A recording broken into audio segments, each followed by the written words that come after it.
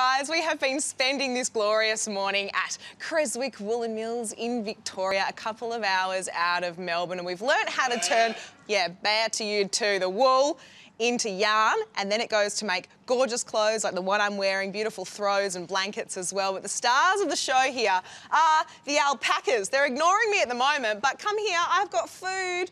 Come on, ladies and gentlemen, come on, come over here. Really? They're not coming for food? I have never seen an animal not come towards food.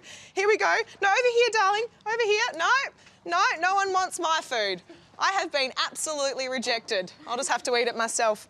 No, not today. Yeah, yeah, that's right. Let's get into your forecast and we'll start things off in Canberra.